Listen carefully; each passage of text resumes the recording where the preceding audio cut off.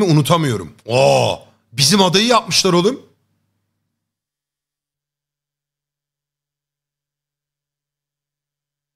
İnsanlar eleştirmeyi sever çok takılmamak lazım. Sadece senin de artık çok umursa düşünmüyorum. Yani ama çok siklemiyorum evet. Genelde çok ağır eleştirilerde insanların kendilerinin öyle olduğunu görüyorum. O yüzden de benim için bir şey ifade etmiyor. Geçen gün de söyledim. Abi bu videoda pipi var dikkat et. Nerede var lan pipi? Söyleyin de o dakikaya bakmayayım.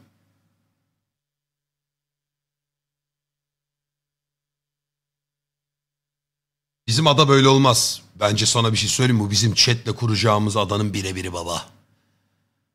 Kara yok galiba burada ama. Ne yapmış bu? Mercan kayasının üzerinde mi duruyor oğlum bu? Şehir mi bu? Ne bu ya? Harbi var. Tamam bizim çocuklar iki dakika baksın arkadaşlar. Bulurlu sıkıntı yok.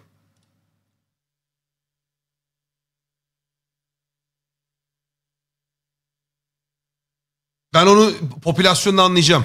Cruz del Üstate 1 kilometre karenin yalnızca yüzde biri kadar bir Aa siktir. Çok güzel lan. Götümüzü köpek balığı ısırır burada ama. Sulun boşluk bırakmamışlar lan. Güneş panelleri var. Tekneler burada. Çok tatlı gözüküyor. 816 kişinin tüm hayatlarını sıkıştırdığı bir ada. Öylesine dolu ki bir adam günlük sporunu bir köpek dışkısının yanı başında yapıyor. Kaotik yaşam bu- Mis gibi. Protein. burada sıra dışı adaptasyonlar gerektiriyor. Adaya adımımı attığım andan beri yönümü nereye çevirirsem çevireyim insanlarla karşılaşıyorum. Her yerden bir insan çıkıyor. Tıklım tıklım olan adada yalnız kalmak imkansız. Ve buradaki her bir evin küçücük odalarında onlarca insan birlikte yaşıyor. Bu odada kaç kişi yaşıyor? Yaklaşık 10. Bu ortalama bir evin sıradan bir odası. Diğer Baba ben hiç böyle hayal etmemiştim içini. insanların nasıl yaşadıklarını gördüğünüzde daha çok şaşıracaksınız. Ancak bu evlerin ötesinde hayatı burada daha da zor kılan çok daha büyük bir sorunları var bu insanların.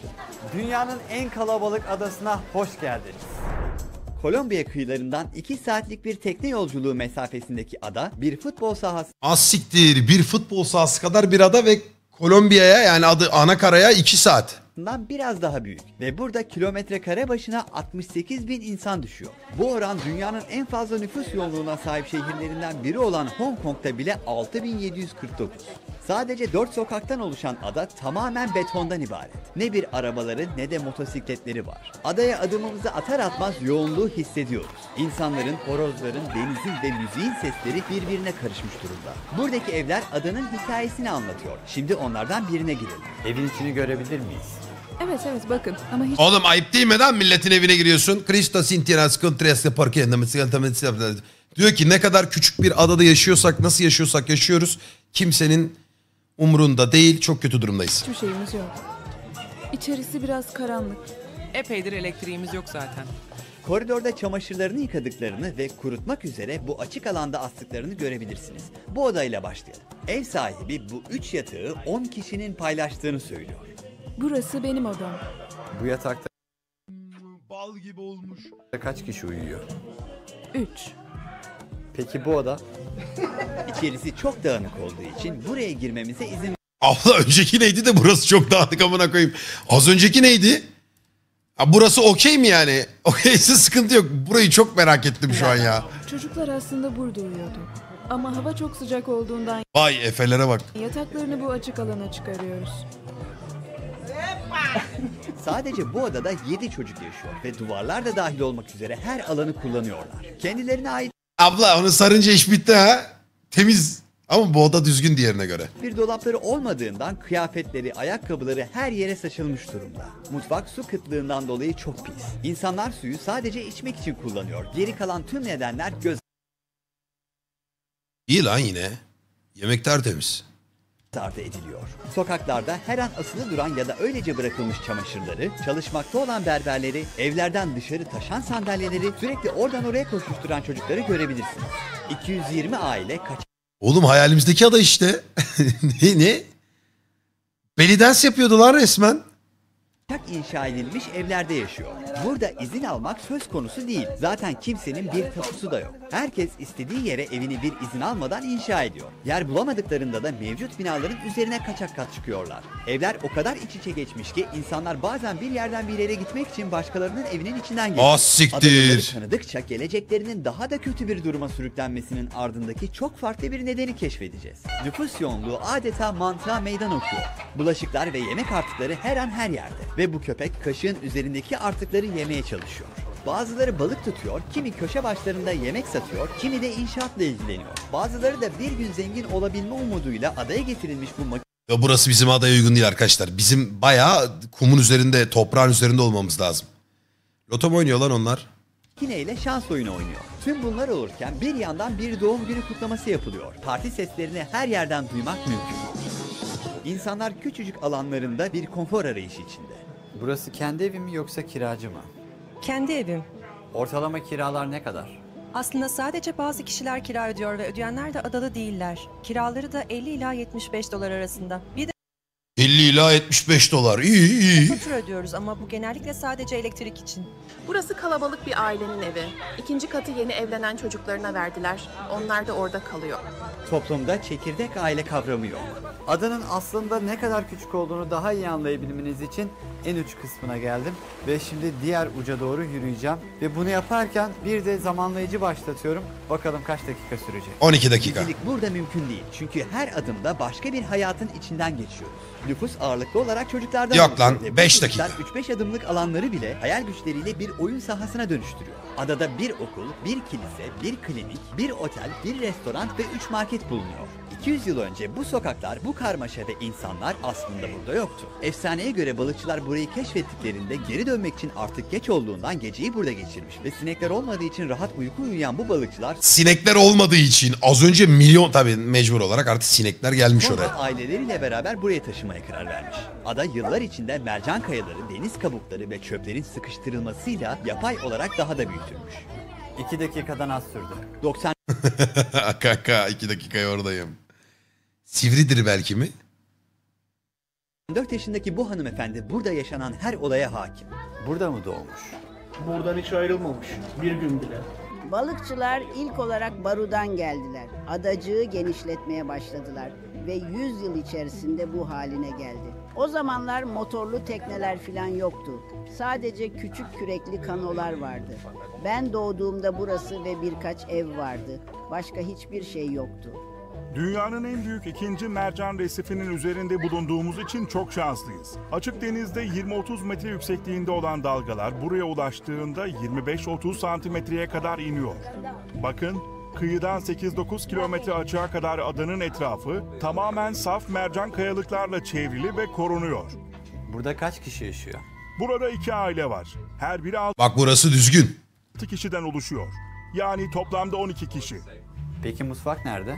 Mutfak, e, burada sadece ocağımız var. Küçük bir tüple yemek pişiriyoruz. Köpekler besin yetersizliğinden dolayı belirli bir boyuta ulaştıktan sonra büyüyemiyorlar. Hepsi küçük. Bu Ya oğlum şu köpekleri alın oradan ya zaman ya. Her canlı için çok kısıtlı. Adadaki neredeyse herkesin dünyaya gelmesini sağlamış ebeyle tanışıyoruz. 40 yıldır ebelik yapıyorum. Burada küfür yasak kanka. Burada küfür yasak. Burada ebeğe mebeğe sövemezsin. Direkt kadın bekliyor önünde muhatap amına koyayım. Kaç doğum yaptırdınız? Ah! Sayısını unuttum bile.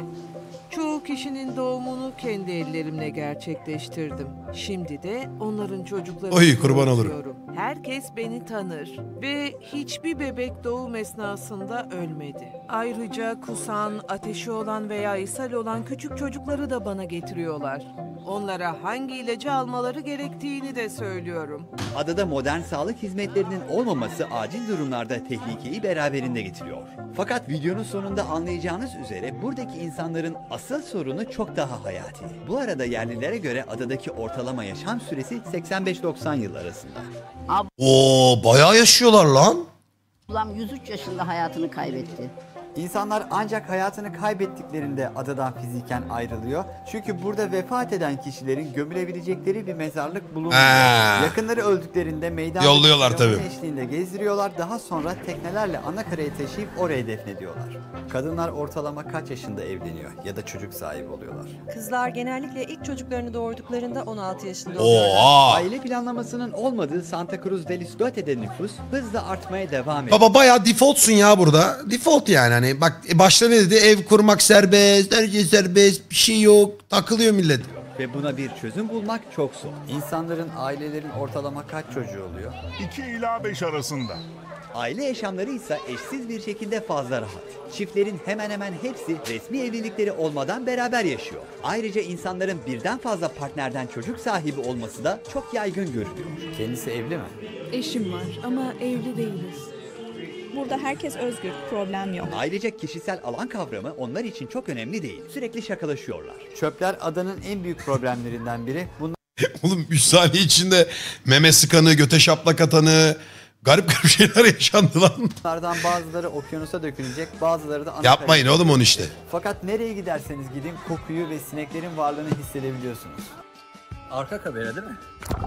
Çöplerin çoğu okyanusun derinliklerinde saklı. Al işte. İnsanlar bir an bile tereddüt etmeden onlar Şu balıkların tanesi deniz akvaryumcularda var 50 dolar falan ha. Ama mercan resifi falan yalan olmuş ben size söyleyeyim. kiloluk atıklarını çöplük gibi gördükleri suya atıyorlar. Plastik, cam ve metal parçaları. Ama şimdi görecekleri... Oldu mu bu şimdi? tiksindirecek. Okyanusun tabanında inanması güç ama bir klozet bile var. Kirlilik içinde yüzen yengeçler yerlilerin önemli besin kaynakları arasında. Ve gördüğünüz bu kırık kafesler bu hayvanları avlamak için kullanılıyordu. Suyun yüzeyinde plastik poşetler yüzüyor. İnsan Abi doğaya ne yapıyorsa insan yapıyor ya yemin ediyorum ya. Ki bunların kendini yenilemek, direnebilme özellikleri var yani. Doğal filtrasyonlar bilmemler anasını bellemişler Bunlar okyanus. balık tutuyor. Bu kadın çamaşır yıkıyor. Hayat burada çok kaotik. Dayının vücuda bak arkadaki. İnsanların elektrik ve içme suyuna erişimi hava şartlarına göre değişiklik gösteriyor. Güneş panelleri burada yer alıyor. Adada elektriği işte böyle üretiyorlar. İhtiyacımız olan tüm elektriği 380 tane güneş paneli ve 180 tane batarya sağlıyor. Hava güneşte ise saat 12 ile 17.00 arasında herkese elektrik veriliyor. Adada bir şey değiştirebilseydiniz bu ne olurdu? Kesinlikle elektrik. Bakın bugün de dahil 4 gündür elektriğimiz yok. Dolap çalışmıyor. Bütün şey... Abo! Domatesleri ve biberleri görüyorsunuz. Yeterli enerji olmadığından hiçbiri taze değil. Güç jeneratörleri saatlerdir çalışıyor. İnsanlar ana Oğlum taşındıktan sonra ben ha. Böyle yöntemler kullanam kullanmam gerekebilir. caddedeki 3 marketten ilaçlar da dahil olmak üzere her ihtiyacını karşılıyor. Burası adanın ticaretinin aktığı bir merkez. T-shirt ya da short satan başka bir dükkan daha var burada. Ada çok rüzgar alıyor. Rüzgarın taşıdığı tuz tüm cihazlarımıza zarar veriyor. İnsanlar için en büyük zorluk içme suyuna erişim. Burada şebeke suyu diye bir kavram yok. Gördüğünüz gibi yağmur sularını bu borularla topluyorlar. Tek bir damla su bile israf edilmiyor. İçme suyu mu? Çok sıkıntı çekiyoruz. Sağlık merkezinin hemen altında adanın akciğeri dediğimiz ortak bir tankımız var. Yağmur yağdığında insanların sevinci o kadar büyük oluyor ki Abi neden o ev bize geleydin de ormana gitmeydin. kutlama yapıyoruz. Kuraklık bizi mahvediyor. Yağmurun yağması bazen 7-8 ayı buluyor. Aslında biz burayı harbiden lan ele geçirsek. Kanun kural da yokmuş. Hep beraber bütün chatle gitsek böyle sağlı sollu dört kanaldan bir çıkarma yapsak buraya. Bak ilk bir ay suyun altını temizlemeyle uğraşıyoruz. Ee, diğer ay o işte güneş panellerini var izleyicilerimizde onlardan sipariş istiyoruz bütün çatıların üstüne. Sonra montalama işte ne bileyim alçı sıva bütün evleri adam ediyoruz. Bütün eşyaları çıkartıyoruz arındırıyoruz. Çöpleri möpleri bilmemleri hepsini böyle yeni bir sistemle kendi büyük işte çaycıların falan yönettiği bir tekne yaparız oraya. O çöpler ana karaya gider gelir her gün. Ondan sonra yüzde 45 vergi. Vergi ne alaka koyayım. Bir haftalık işimiz var. Suyumuzu depoluyoruz ve adil bir şekilde tüm ailelere dağıtıyoruz. Bu ikisini ben alırım. Buradaki sorunumuzdan haberdar ve gemilerini belediyeye ödünç vererek su getirmelerine olanak sağlıyorlar. Şu an biraz suyumuz var. Yağmur yağdığı için Kordi bunu halleder. Tüm tanklar dolu. Ayrıca burada bir kanalizasyon sistemi de yok. Yağmur içme suyunun bir müjdesi olsa da yağışlar yaşamı beklenmedik bir karmaşaya sürüklüyor. Ha bu var bir de oğlum. Bunun gel giti var git geli var harbiden. Ne oluyor oğlum bu havalar patladığında? Mercan resifi lan orası. Adanın altı doldurularak genişletilen kısımları dayanıklı olmadığı için şiddetli bir yağmur evleri de sokakları da kullanılmaz hale getiriyor. Adanın en sevmediğiniz tarafı nedir? Yaşadığımız tek kötü şey yağmurlu mevsimde gelgitlerin yükselmesi. Deniz suyu tüm bu sokaklara kadar taşıyor. Bilge teyzeye dokunmayın. O, or- orada dursun hep. Ona sorular soracağız oğlum. Bir Info da almamız lazım. Sel oluşuyor. Özellikle Eylül ve Ekim aylarında sonbahar boyunca. Eğer bu yükseltilmiş zeminler olmasaydı su evlerin içine girerdi. Dentist bir orada bir sınavını verir. Ona bir iyilik yaparız. Bu mevsimlerde elektriksiz de kalıyorlar. Şu anda Santa Cruz del Islote'nin kalbindeyiz. Ebe de kalsın, ebe de kalsın. Bak ebe az önceki başkan gibi gözüken adam. Bir de şey Bilge teyze. O üçünün durması lazım Bu burada. gördüğünüz adadaki tek anıt ismi La Patrona. Anıt bizi kasırgalardan bile koruyor. Yerleşim yerinin küçük kilisesindeyiz. Duvarları bile boyalı değil. Bakıma ihtiyacı var. Papaz siz misiniz? Liderlik ediyorum. Adada çok Papazım da diyemedi. Liderlik ediyorum dedi. Papaz yok yani orada. fazla çocuk var. Onların gelecekleri hakkında ne düşünüyorsunuz? Ha garibimler ya. Okulu bitirdikten sonra eğitimlerine devam edemiyorlar. Ailelerin onları eğitim almaları için anakaraya gönderecek imkanları Holmes. Daha Holmes'un görevi belli oldu. yok. Adada toplamda 240 öğrenci var ve 12 öğretmen görev yapıyor. Adadaki ilk ve tek okula hoş geldiniz. Bu oda birinci sınıf öğrencileri tarafından kullanılıyor. Efeler buraya. Çevredeki diğer adalarda okul olmadığından oradaki öğrenciler de buraya geliyor. Okul servisleri ise tabii ki bir tekne. Buranın tüm çocuklarının en sevdiği aktivite futbol. Büyüyünce ne olmak istiyorlar? Futbolcu. Nerede oynamak istiyorlar? Madrid'de. Paris'te. In Arjantin. Argentini. Tabi la o zaman 5-6 tane de bırakalım bu çocuklara. Bu çocuklara bir şey yapmayız zaten de.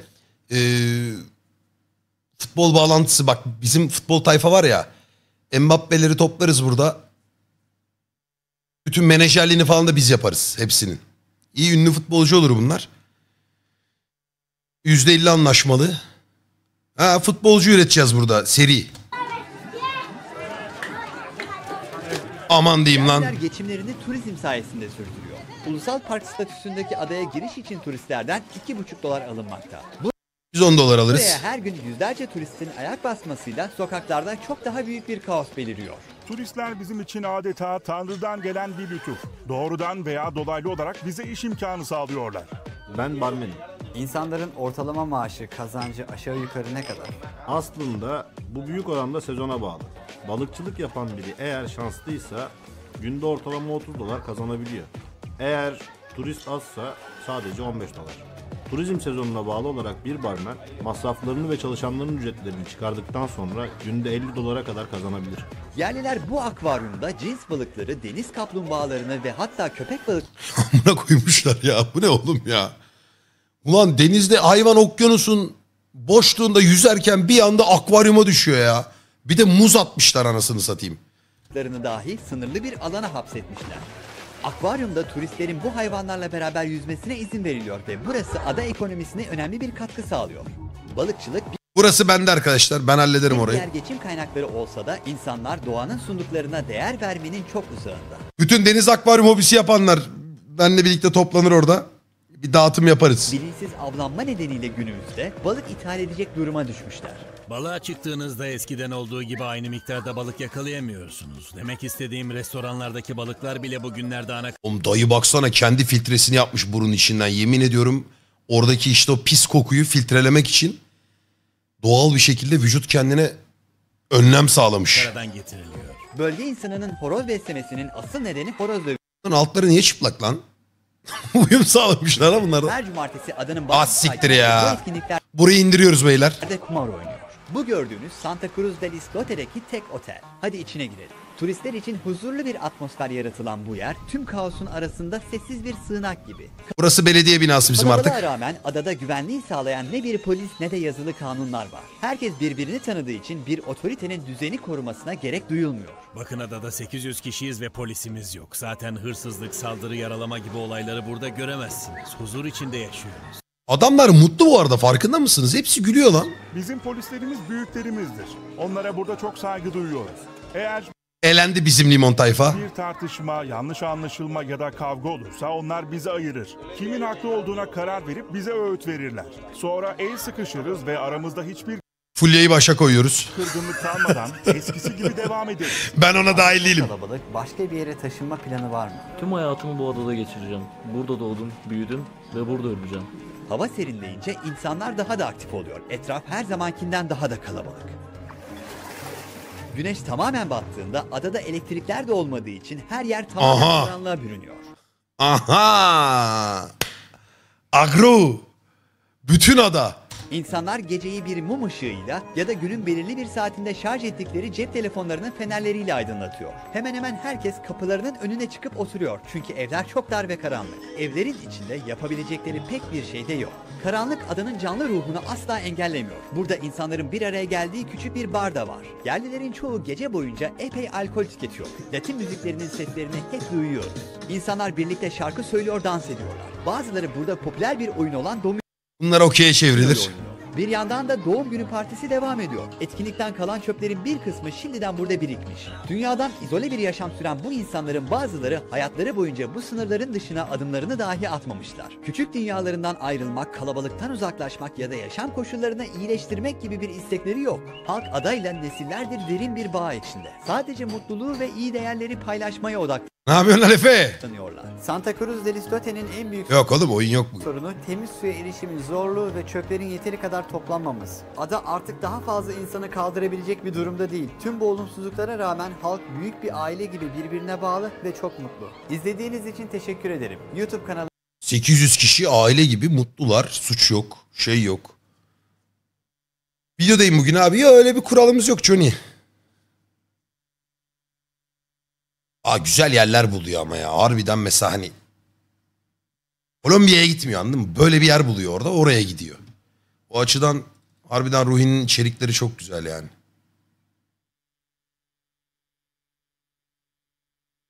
Bir hepsini biriktirsin de bir gün ben de çıkacağım hepsine. Direkt Ruhi'nin gittiği yerlere gider bir de kendim yorumlarım. Bu şeyi Naru'yu izlemiş miydik biz? Naru muydu o neydi? En şişman, en çok sigara içen ve en az ziyaret eden ülkeye yolculuk mu? Nauru. Nauru, Nauru. Evet. Güzel videoymuş. Enteresan. Enteresan yaşamlar var abi. Yani makara kukara geçiyoruz ama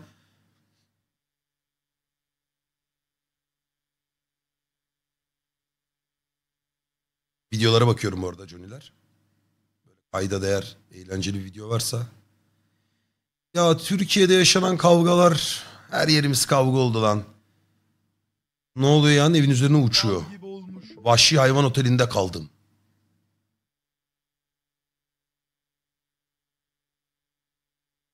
Kellekte yemek. Ya Uras Reis neler yapıyorsun yine ya.